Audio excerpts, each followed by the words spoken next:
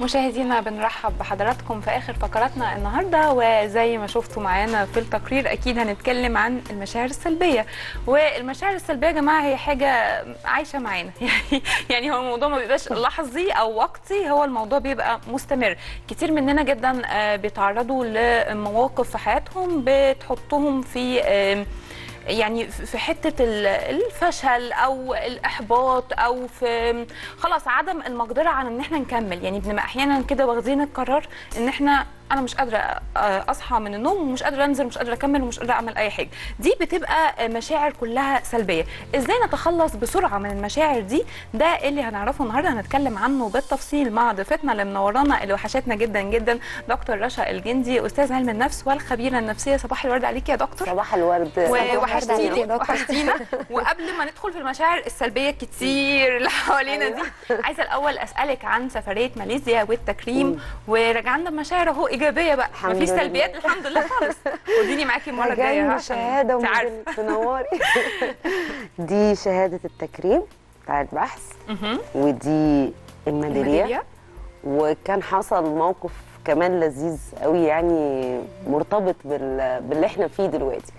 آه رحنا ماليزيا. إحنا كنا باحثين من دول مختلفة بنقدم الأبحاث بتاعتنا في العلوم النفسية. وبعدين آه، جم في الآخر خالص بعد التقييم الأبحاث ما عرضناها وكده قسموا الميداليات اللي هيوزعوها ذهبية فضية برونزية. برونزية. فبينادوا البرونزية هي أقل وبعدين الفضية وبعدين الذهبية أعلى حاجة. فبينادوا الأسامي وأنا الحمد لله يعني كنت عرضت عرض جاب تفاعل حلو قوي من الناس و... وتقيم حلو يعني. ف... فنادوا الاسامي البرونزية وقلنا الحمد لله ما تناداش اسمنا إحنا مش في البرونزية. بعدين جه الاسامي بتاعت الفضية. الفضية. نادوا الاسامي الحمد لله. جه على آخر اسمي في الفضية ونادوا اسمي. فأنا طلعت دي يعني موقف من المواقف المرتبطة بموضوع حلقة النهارده. فانا طلعت يعني وأنا حاسه بال زعلانة. بال آه يعني إيه محبطة؟ شوية. آه اللي هو إزاي ما خدتش الذهبيه آه. اكسبكتيشن أعلى شوية. أنت عارفة إحنا المصريين بنحب دايما نبقى إحنا المصريين عندنا دايما عدم. رضا غريب. آه. يعني دايما متطلعين الأحسن بس دي حاجة كويسة. وبعدين مع ردود الأفعال لأ ومع ومع تقييم الفرق ما بين البحث ده والأبحاث التانية اللي قدموها الناس لا أنا حاسة إن أنا أستاهل ال- ال- ال- الذهبية يعني. فبعدين طلعت بكل بساطة واتكرمت وابتسمت وعادي ومفيش مشكلة وخلصوا نادوا على الذهبية. وبعدين الدكتور بتاع اللجنة بيقول لي مبروك الذهبية طبعا تستاهلي الذهبية نمرة واحد. وأنا قلت لازم اسمك. قلت له أنا مش على فكرة أنا مش. أنا. أنا فضية. أنا الفضيه قال لي مستحيل. انت الذهبية واسمك في الذهبية وأنا حاطة أول اسم. تخيلي نادى من جديد الحكام أو. وغيروا من الفضية للذهبية Yeah. يعني أنا كنت في قلت أكيد استقبالي للموقف مم. استقبالي إن أنا آخد الأمور بأبسط ببساطة وبرضا خلى خلى الأمور تمشي أحسن يعني طبعا. ممكن ده كان يربكني ممكن ده كان يخليني أطلع أنا خليني أقول إن إن ده دكتوره رشا يعني حد هو أصلا بيعرفنا إزاي نعمل ده. بس الطبيعي بتاعنا والطبيعي بتاع الشعب كله إن دايما المشاعر السلبية هي اللي بتسيطر عليا أول حاجة. يعني أي. موقف في الدنيا يعني بتعرض ليه آه، أول حاجة بتجيلي الأزمة أو الإحساس بالإحباط أو الفشل وهكذا. إزاي أتخلص من ده؟ بصي هي آه، أنا في التقرير انبسطت قوي من ردود الناس لما قلت له لما بيقول لهم إزاي بتتخلصوا من الشعر السلبية فكل واحد قال حاجة غير التاني. دايما أقول للبني آدم أنت الحاجة اللي أنت بتحبها بتبسطك أكيد غير الحاجة اللي بتبسط غيرك صح أكيد. ولا لأ؟ طبعا عشان إحنا هو البني آدم لما بيكون عنده مشاعر سلبية هو في لحظة ضعف. فمن السهل جدا إن الشعور يسيطر عليكي انت إمتى بتجيلك مشاعر سلبية؟ لا قدر الله فقدتي حاجة بتحبيها. آه. آه حصل لك موقف يعني على مشكلة يعني مثلاً، عكس ما. انت عايزة.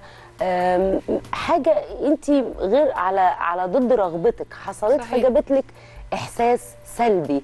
حتى الغيرة والكذب والقسوه والحاجات دي لما بنتعرض ليها دي كلها مشاعر, مشاعر سلبية. مشاعر سلبية. هو أنا هو هنا البني آدم بيبقى في إيه؟ بيبقى في لحظة ضعف.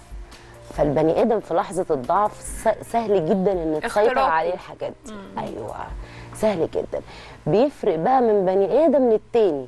أنت اتربيت إزاي في حياتك؟ اتدربت إزاي تتعامل مع الحاجات دي ولا لأ؟ اتدربت إن أنت عايش في الدنيا مش في الجنة؟ اتدربت إن أنت بتتعامل مع بشر مش مع ملائكه اتدربت على الحاجات دي ولا لا؟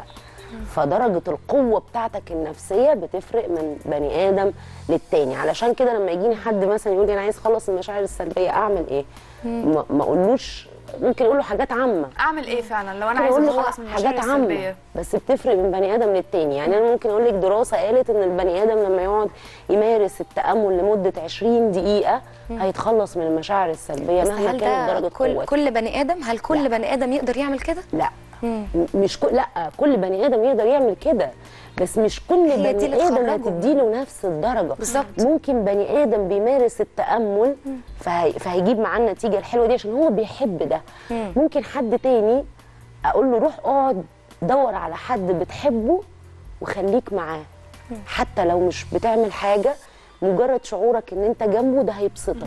رشا سريعا آه، آه، يعني مقارنة بين السيدات والرجال الست بطبيعتها كائن عاطفي أكتر عاطفي، أيوة. فتحسي إن معظم ال- الناس أو معظم بقى ال- البشر اللي عندهم آه، مشاعر سلبية هم الستات. أيوة. الرجالة ما بيحصلهمش كده سبحان الله يا فريسة أنا ما بحسدش لل- خالص ما بعملش أي مشاكل. للمشاعر السلبية. يعني الست دايما آه. إحنا دايما متضايقين كده. أنتوا ما شاء الله على طول في ابتسامة ومنفضين للحياة وللدنيا الراجل كده. أكتر واقعية من الست وإن انت لو بصيتي للواقع بجد هتعرفي إن انت لازم تتخ- تتخلصي من مشاعرك السلبية أول بأول عشان الهروب من المشاعر السلبية والهروب من المشاكل مضر صحتك النفسية وبيزودها جواك سريعا مواجهتها آه، أصلا. روشتة أهم. أو كبسولة للتخلص من المشاعر السلبيه للأسف لأن فقرتنا آه. معاكم بتنتهي للأسف سريعا انت مريت عشان الوقت بأي يعني موقف. مريت بأي موقف وحش حسيت بأي مشاعر سواء آه، من وجهة نظرك إيجابية أو سلبية أيا كان عبر عنها اتكلم طلع اللي جواك ما تهربش منها وما تتكسفش من مشاعرك.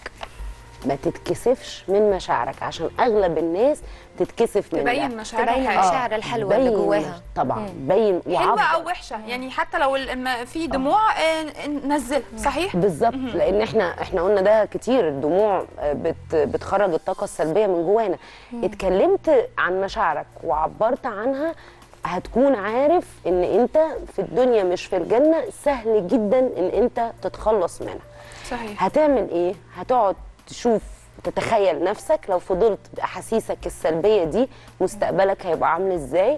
وبعدين تقعد تتخيل لو أنت غيرت ده و- ونفسك توصل لإيه؟ وعشت في المود ده إن ده فعلا بيتحقق لك صحيح. وتخيلت أنت هتبقى عامل إزاي؟ وقارن ما بين الاتنين. تمام. قارن ما بينهم هتلاقي نفسك إن طبيعي إن أنت بترجع أنت إيه المشكلة؟ أنا بغير. عادي أعترف بده. أنا كنت قاسي على أولادي في فترة من الفترات. إيه المشكلة؟ ما هو أنا بني آدم ولازم أمر بده. أنا كنت خنت. خنت مثلا آه، آه، اسيت أهم حاجة. الوضوح وان أنا ابقى. صريح مع نفسي آه، وأخرج مشاعري ايا. كانت هي إيه بالظبط. صح كده. يعني يا جماعة أنتوا فهمتوا وعرفتوا إن أنتوا كل ما هتتخيلوا حاجة كل ما هتحققوها فبليز آه، نبعد عن المشاعر السلبية والمشاكل اللي بنحط نفسنا فيها أو الموت فعلا زي ما دكتورة رشا قالت اللي بنحط نفسنا فيه نشكرك شكرا جزيلا دكتورة رشا الجندي أستاذ علم النفس والخبيرة النفسية إن شاء الله نستناكي الأسبوع الجاي ويبقى فيه وقت. أطول نتكلم صباح الورد. عليك وعلى كل المشاهدين صباح الورد عليكي مشاهدينا بنشكركم على حسن المتابعة واستنونا بكرة في نفس الميعاد من 9 ل 11 وإن شاء الله نشوفكم على خير. إلى اللقاء.